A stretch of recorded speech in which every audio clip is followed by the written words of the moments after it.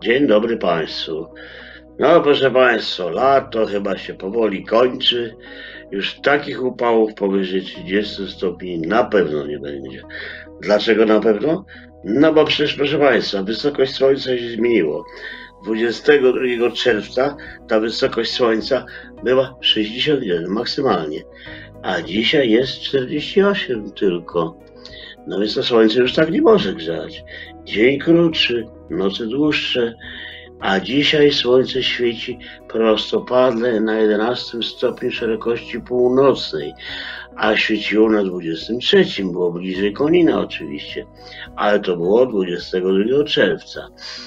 Co to jest 11 stopień szerokości północnej? A podam. Caracas na przykład leży na tym rożniku, stolica Wenezueli, Addis Abeba, stolica Etiopii w Afryce i Bangkok, stolica Tajlandii. Tam słońce dzisiaj zagląda do najgłębszych studni, bo świeci prostopadle. Ono zbliża się w swoim pozornym ruchu do równika, więc będzie coraz niższa wysokość słońca, coraz krótszy dzień. No i już pierwsze symptomy jesieni mamy. Dzisiaj jest zimno, wiecznie, podobnie, 18-20 stopni. Jutro będzie trochę lepiej, proszę Państwa. Bo jutro, widzicie teraz na tej mapie, tylko od zachodu zaczyna się chmurzyć, ale jeszcze większość Polski będzie w słońcu. Jutro będzie dzień ładny, ale zobaczmy, jak będzie w sobotę i w niedzielę.